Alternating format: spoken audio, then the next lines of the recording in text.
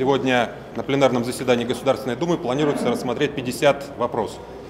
В конце этого блока вопросов стоят и наши законопроекты, но, к большому сожалению, скорее всего, до них опять не дойдет очередь, поскольку из огромного числа законопроектов, которые фракция внесла на рассмотрение Государственной Думы, до заседания пленарного доходят единицы. И сегодня среди важнейших законов, которые внесла наша фракция, стоят законы о регулировании нефтяной отрасли, фактически о варианте национализации, законы, касающиеся индексации пенсий работающим пенсионерам, о введении права на досрочную страховую пенсию для лиц, которые ухаживают за инвалидами первой группы, и еще ряд важных законопроектов, в том числе касающихся заработной платы наших бюджетников, это учителей и медицинских работников, но, к большому сожалению, на первых местах сегодня стоят совершенно другие законопроекты.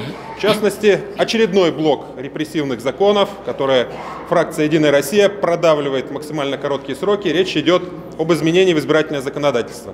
И фактически личные страницы граждан, на которых они выражают свое мнение, которое не всегда нравится правящей партии, которое не всегда нравится правящему режиму и совпадает с их мнением – можно будет ограничить. Ограничить по якобы уже отработанным и существующим канонам. Фактически любое мнение, которое будет размещено, любой контент, который будет размещен на личной странице гражданина, на странице любого юридического лица, на любом сайте, если он содержит признаки предвыборной агитации, по решению избирательной комиссии можно будет, первое, заблокировать, второе, наложить соответствующий штраф, причем по двум основаниям сразу. Первое основание – это распространение материала, изготовленного с нарушением избирательного законодательства. Вы сами понимаете, что ролики, которые сами граждане изготавливают или размещают, или дублируют, они не всегда изготавливаются из избирательного фонда. Ну а второе – это размещение в неположенных местах. Соответственно, страница, сайт, э, либо другой какой-нибудь информационный источник является вот тем местом, где размещение соответствующего контента запрещено. Штрафы вырастут сразу в 10 раз, до 5-20 тысяч для физического лица. Если простой человек может спокойно выразить свое мнение перед коллективом, может пригласить себя домой и объяснить свою точку зрения, касающуюся в том числе избирательного законодательства, он может вывесить в своем доме или на своем доме соответствующую агитацию, ему за это ничего не будет. То если он то же самое сделает на своей личной странице, потенциально, в соответствии с принимаемым сегодня законопроектом в третьем чтении, он может получить блокировку своей страницы, которую потом очень сложно будет разблокировать, и второй штраф сразу по двум основаниям.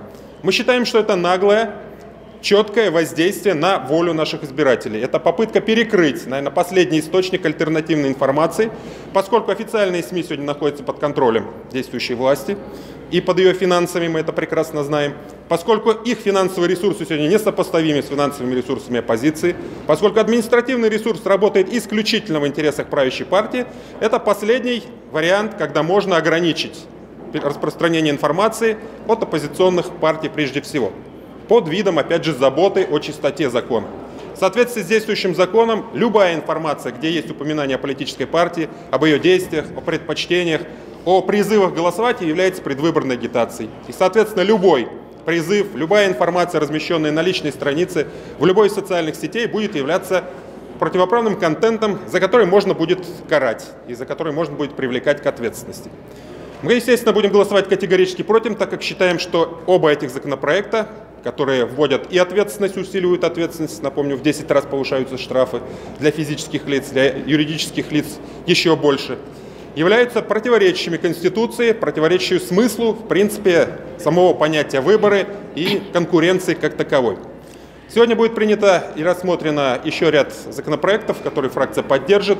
Мы, безусловно, поддержим усиление сегодня борьбы с офшорами, которая наконец усилилась после 20 лет безнаказанного вывоза из страны огромных денег.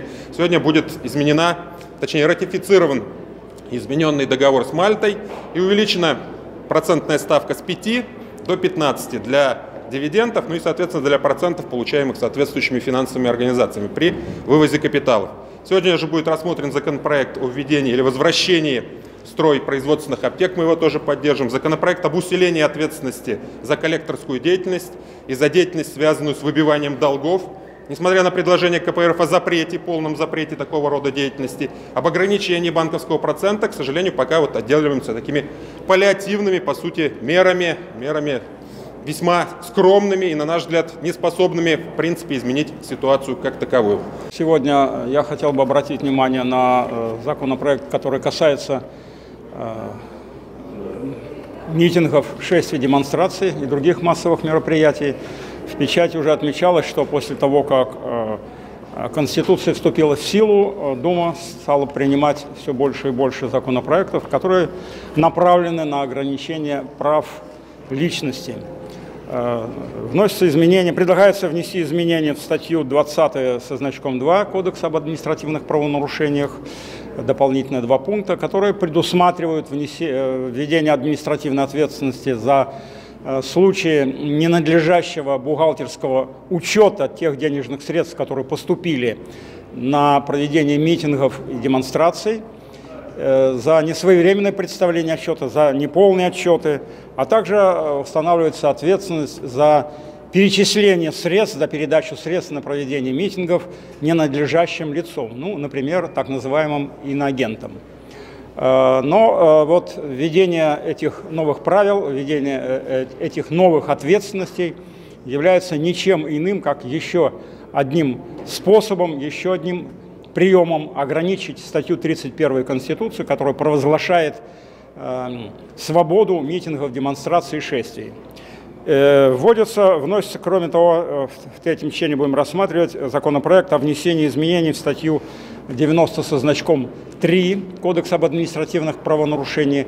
Эта статья предусматривает ответственность за неповиновение сотруднику полиции и другим сотрудникам правоохранительных органов. И Помимо того, что здесь увеличиваются существенно штрафы, которые налагаются на участников этих мероприятий, а, остается административный арест до 15 суток. Кроме того, вводится и принципиально иной, принципиально новый вид наказания обязательной работы. Раньше его здесь не было, до 120 часов. Ну, что я хотел бы в этой связи отметить, что для нас совершенно очевидно, что это не конституционные меры и не конституционный закон. Обращаю внимание на постановление Конституционного суда от 14 февраля 2013 года номер 4. В нем специально это постановление принято по инициативе, было по инициативе инициировано его принятие, значит, было депутатами Государственной Думы в 2013 году.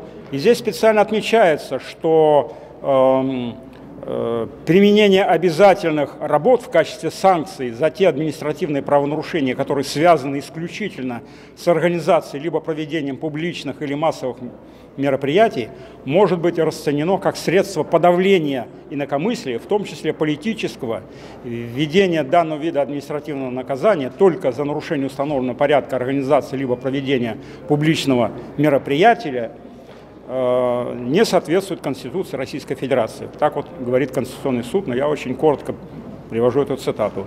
И в связи с этим я понимаю, мы понимаем, что, конечно же, скорее всего, этот э, закон будет принят в третьем чтении, но э, мы оставляем, наша фракция оставляет за собой право в случае его принятия обратиться, инициировать обращение в Конституционный суд для признания этого закона неконституционным.